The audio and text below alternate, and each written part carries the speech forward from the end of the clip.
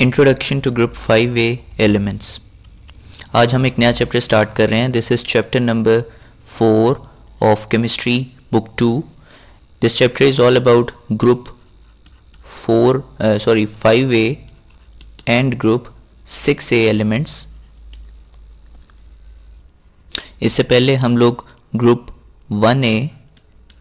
which were alkali metals and group two A को already पढ़ चुके थे which was chapter number two इसके अलावा चैप्टर नंबर थ्री फिर हमने देखा था which was group sorry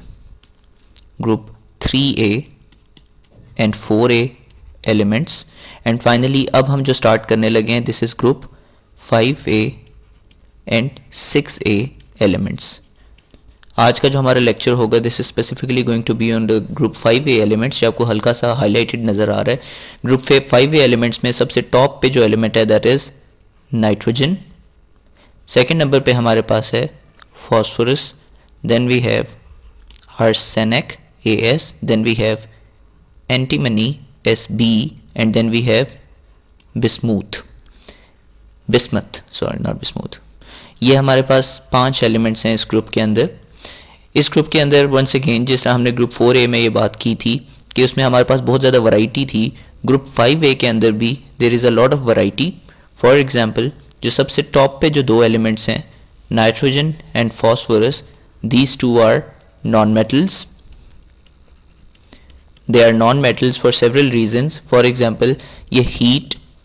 and light and light के तो वैसे ही लाइट का बात नहीं होती। हीट एंड इलेक्ट्रिसिटी के ये कंडक्टर्स नहीं है। हीट एंड इलेक्ट्रिसिटी को ये इंसुलेट कर देते हैं। एंड इसके अलावा they give acidic oxides you might remember what are acidic oxides for example nitrogen oxide when react with water it forms nitric acid it gives its oxides are acidic in nature ठीक है? इसके अलावा ये heat और electricity को pass on नहीं होने देते, इसके अलावा इनके तमाम प्रॉपर्टीज़ नॉन मेटल से मिलती जुलती हैं। इसके बाद जो बाकी जो दो एलिमेंट्स हैं, इसके नीचे वाले नाइट्रो फॉस्फोरस के नीचे भी है arsenic and antimony these two elements are metalloids and they are intermediate intermediate between metals and non-metals and finally, bismuth, this element is a metal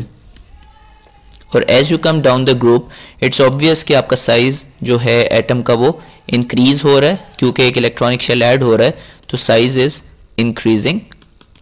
तो जितना बड़ा एटम है, उसके अंदर से इलेक्ट्रॉन निकालना उतना इजी होगा। And metallic character if you recall what is metallic character कोई एलिमेंट अच्छा मेटल तब होता है, अगर इजीली उसके अंदर से इलेक्ट्रॉन निकाला जा सके। इफ़ इजीली इलेक्ट्रॉन उसके अंदर से निकाला जा सके इज़ किकड आउट या नॉकड ऑफ़ या release it's a good metal so in bismuth electron can be easily taken out from the atom because it is a very big atom and it has very low ionization energy but in nitrogen it's a very very small atom and it's very difficult to take out one electron from the outer most shell so this explains के why bismuth is a metal and why these top two are non metals इसके अलावा इनकी जो properties की variation है, उसका अंदाज़ा आपको इस बात से हो जाएगा कि नाइट्रोजन का जो बॉइलिंग पॉइंट है that is minus hundred and ninety six degree Celsius इसका मतलब है इस टेम्परेचर से ऊपर अगर आप टेम्परेचर रखो तो इट्स लिक्विड ठीक है? एंड अगर आप minus two hundred and ten से भी अगर नीचे ले जाओ तो वहाँ पे ये सॉलिड बन जाता है। माइनस वन नाइन्टी सिक्स से ऊपर sorry it's not liquid it's gaseous it's zero degrees Celsius आप आ, मैं आपको चलो यूँ समझाता हूँ। एक आपके पास टेम्परेचर है ज़ीरो डिग्री सेल्सियस ज़ीरो से आप नेगेटिव साइड पे अगर जाते जाओ तो पहले 196 आएगा और उसके बाद माइनस टू आएगा। माइनस वन से ऊपर ऊपर ये गैस होगा माइनस टू टेन से माइनस वन के दरमियान ये लिक्विड होगा और माइनस टू टेन से पीछे ये सॉलिड के तौर पे एग्जिस्ट करेगा। माइनस टू टेन से भी अगर नीचे आप टेम्परेचर करो, ये फ्रीज हो जाएगा nitrogen so nitrogen room temperature के ऊपर it is always in the form of a gas और nitrogen is the most abundant element in earth in the atmosphere almost 78 percent जो अर्थ का एटमोसफियर है it is built up of nitrogen gas nitrogen exist as diatomic molecules N जिनका आपस में triple bonded होता है, दूसरे के साथ हर नाइट्रोजन एटम उसके बाद है हमारे पास phosphorus phosphorus is basically a solid and phosphorus shows different allotrope for example it appears as white phosphorus और red phosphorus will talk about these allotropes later बाकी भी जितने एलिमेंट्स हैं they also show allotropes specially phosphorus arsenic and antimony these three show allotropes सिवाय nitrogen के ये जो चारों हैं, बाकी दे आर सॉलिड्स एक और इनके बारे में कॉमन प्रॉपर्टी ये है कि as you come from top to bottom nitrogen से आप बिस्मत की तरफ़ आ रहे हो तो नाइट्रोजन जो है it gives covalent compounds it it cannot give ionic compounds but as you come down the electronegativity is decreasing and जब आप बिस्मुत तक पहुँचते हो तो यहाँ पे आपकी जो बॉन्डिंग है, वो आइनिक के अंदर चेंज हो चुकी हुई होती है। ठीक है? So the trend shift from covalent bonding to ionic bonding as you come down the group now let's talk about most important thing, the electronic configuration. Electronic configuration इन सब की कुछ ऐसे होती है कि इनके अंदर, चूँकि इनका फाइव ए एलिमेंट है ना they five these are five A elements तो इनके अंदर लास्ट शेल के अंदर there are five electrons this is nucleus this is the first shell और लेट्स ये जितने भी शेल्स हैं let's consider this is the outer most shell अब इस आउटर मोस्ट शेल के अंदर you have two four and five electrons if I think about from the octet point of view तो इनको कितने इलेक्ट्रॉन्स चाहिए? मजीद अपना शेल कंप्लीट करने के लिए three more electrons three more electrons अगर तो ये आइनिक बॉन्ड्स बनाएँगे तो they should show valency of minus three क्योंकि माइनस थ्री ये तीन इलेक्ट्रॉन्स एक्सेप्ट करने के बाद ऑक्टेट्स कंप्लीट हो जाएगा। और अगर ये कोवलेंट बॉन्ड्स बनाएँगे तो they must make three covalent bonds अगर ये तीन कोवलेंट बॉन्ड्स बना दें फॉर एग्ज़ाम्पल अगर आप नाइट्रोजन ही की बात करो नाइट्रोजन के लास्ट शेल में कितने हैं? Five one two three four and five या आप इसको यूँ लिख लो। तीन को मैं सेपरेट यूँ लिख देता हूँ एंड दो यहाँ पे अलग पड़े हैं। अगर एक हाइड्रोजन पास आ जाए इसके, जिसके पास एक इलेक्ट्रॉन है ये भी एक इलेक्ट्रॉन वाला हाइड्रोजन यहाँ पे भी एक इलेक्ट्रॉन वाला हाइड्रोजन तो अब ये देखो, ये तीन इसने कोवलेंट बॉन्ड्स बना लिए हैं और इन तीन कोवलेंट बॉन्ड्स बनाने के बाद अब नाइट्रोजन के अगर आप काउंट करो तो चारों साइडों पे दो दो इलेक्ट्रॉन्स पड़े हैं। It now has complete octet so they need a minimum of three covalent bonds अगर इन्होंने अपना ऑक्टेट कंप्लीट करना है। दिस कहानी इज़ ट्रू अगर आप नाइट्रोजन की बात कर रहे हो। सिर्फ़ नाइट्रोजन तक तो ये बात चल जाती है। But as you go up For example, as you go to phosphorus and then arsenic and then tin, uh, sorry not tin, has antimony and then bismuth, तो स्टोरी थोड़ी सी चेंज हो जाती है फॉस्फोरस को अगर आप प्रोडक्ट टेबल के अंदर देखो किस जगह पे है ये प्रोडक्ट टेबल में इस लोकेशन के ऊपर है this is phosphorus and its atomic number is 15 so in the first shell there are going to be two electrons in the first का सिर्फ़ एस शब शेल ही होगा सो वन एस के अंदर दो इलेक्ट्रॉन्स आ गए इसके अलावा सेकंड शेल में there going to be eight electrons two S और टू पी के अंदर स्प्लिट हुआ हुआ होगा सेकंड शेल और टू पी भी further two P X two P Y और टू पी जी के अंदर स्प्लिट हुआ हुआ होगा सो टू एस के अंदर there are two electrons two P X के अंदर दो टू पी वाई के अंदर दो टू पी जी के अंदर दो अब टोटल कितने हो गए? दस हो गए। पाँच मजीद आने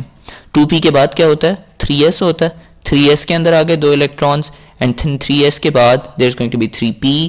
three P के अंदर उसी तरीके से three P X three P Y and three P Z हो जाएगा. एंड थ्री पी के अंदर टोटली तीन इलेक्ट्रॉन्स आने चाहिए बिकॉज़ अभी तक टोटल बारह कंप्लीट हो चुके हैं. तो ये इस तरीके से तीन आते हैं कि ये तीनों पॉजिटिव स्पिन के साथ, या आप ऑलरेडी ये फिनोमेना पढ़ चुके हो, कि अगर आपके पास पी ब्लॉक तीन सेपरेट पड़े हुए हैं तो एटम्स की कोशिश होती है कि वो उसी सिंगल स्पिन के साथ डिफरेंट के अंदर एग्जिस्ट करें, बजाय इसके के एक ही के अंदर ऑपोजिट के साथ एग्जिस्ट करें। इसके लिए आपने पॉलीज एक्सक्लूजन प्रिंसिपल एक पढ़ा था। पॉलीज एक्सक्लूजन प्रिंसिपल और वो इस पूरे फिनोमेना को गवर्न करता है। अब अगर आप इस फॉस्फोरस के एटम को देखो तो 3p के जो नेक्स्ट होता है, वो कौन सा ग्रुप होता है? 3p के बाद क्या आता है वैसे? 3p के बाद आता है 4s आप इस इस प्रोडक्ट टेबल को भी देख के बता सकते हो। ये 3p है ना? थर्ड शेल पी ग्रुप ठीक है? और उसके बाद आप नेक्स्ट दो एलिमेंट्स देखो तो वो ये वाले हैं। फोर्थ शेल एस ग्रुप ठीक है? और उसके बाद फिर ये वाले आते हैं जो एक्चुअली थ्री डी के एलिमेंट्स हैं, लेकिन फोर्थ प्रोडिक टेबल के ग्रुप में पड़े, इस पीरियड में पड़े हुए हैं। These are actually three D elements तो फोर एस के बाद फिर आता है थ्री डी अब सीन ये होता है कि फोर एस थ्री डी और थ्री पी की जो एनर्जी का डिफरेंस है, वो बहुत ही मामूली सा होता है। तो ये जो थ्री एस से ना, एक इलेक्ट्रॉन जंप करके, यहाँ पे दो इलेक्ट्रॉन्स है ना,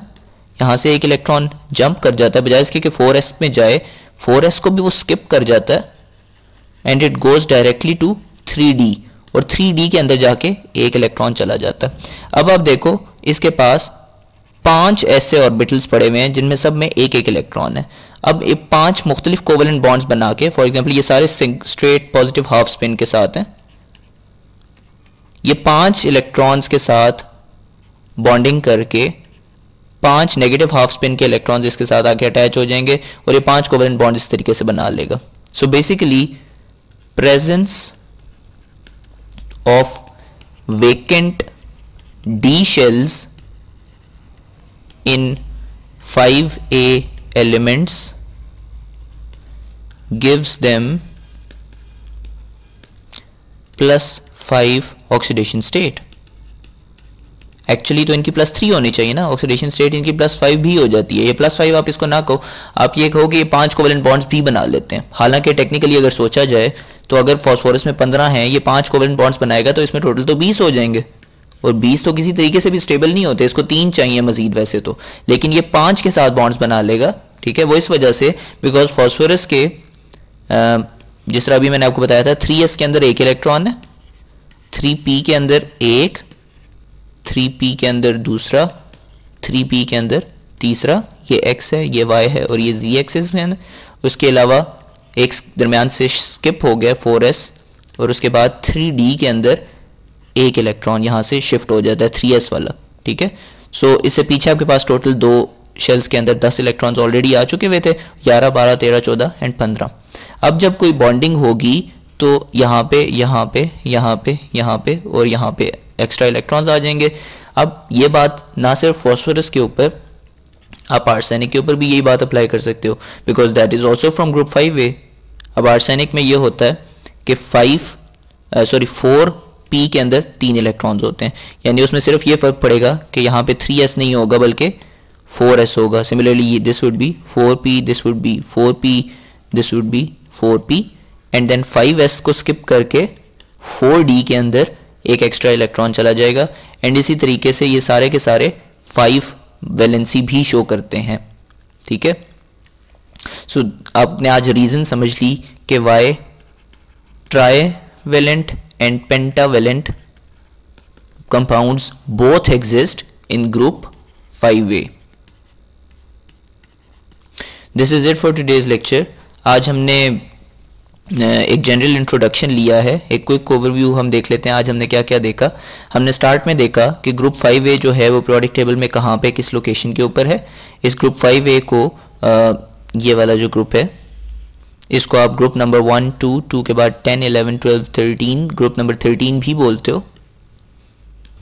Sorry not fifteen thirteen fifteen क्योंकि यहाँ पे दो हो गए, दरमियान में दस। Twelve thirteen fourteen and fifteen so this is also called group fifteen group fifteen और ग्रुप फाइव ए एलिमेंट्स इसको नाइट्रोजन ग्रुप भी बोलते हैं बिकॉज़ टॉप पे इनके नाइट्रोजन होता है। इसमें पाँच एलिमेंट्स हैं, जिनमें एक नॉन मेटल है, ठीक है? दो हमारे पास सॉरी जो top two are non metals these two are metalloids and bottom जो है ये दिस इज़ मेटल ये हमने उसकी क्लासिफिकेशन कर दी. Nitrogen phosphorus are non metals because they don't conduct heat and electricity and इसके अलावा they give acidic oxides for example the oxide of nitrogen gives nitric acid and the oxide of phosphorus gives phosphoric acid जो कि later on हम इस chapter के अंदर detail के अंदर इनकी प्रॉपर्टीज़ देखेंगे इन एसिड्स की. इसके अलावा arsenic and antimony these two are metalloids their properties are intermediate between nonmetals and metals and finally we have bismuth which is a metal top to bottom metallic character इस वजह से increase कर रहा है because आपका size increase करता जा रहा है आइटम का and it is easier to remove an electron from the outer most shell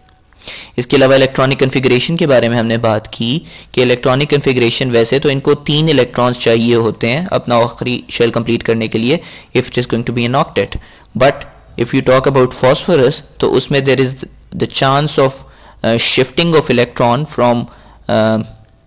this P orbital to this D orbital this is exactly what happens यहाँ से यहाँ पे एक उठ के आ जाता है। ठीक है? बट ये वाली कहानी नाइट्रोजन पे अप्लाई आप नहीं कर सकते, क्योंकि नाइट्रोजन के यहाँ से आगे आप जाओ तो इस वाले के अंदर there is no D orbital जहाँ पे एक इलेक्ट्रॉन 2s से जंप कर सके 3d के अंदर, ठीक है? So this is it about today's lecture in the coming up lecture हम लोग बात करेंगे नाइट्रोजन के कंपाउंड्स की नाइट्रोजन कंपाउंड्स इन पर्टिकुलर जो हमने बात करनी है that is going to be oxides of nitrogen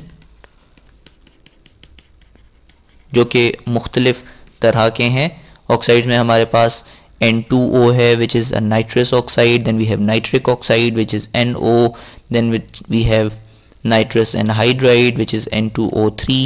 nitrogen pent per oxide which is N O two and nitric anhydride which is N two O N2O5 इन सब के जो स्ट्रक्चर्स हैं, हम उन सब के बारे में बात करेंगे और इनकी मामूली सी केमिकल प्रॉपर्टीज़ भी एक नज़र डालेंगे उनके ऊपर।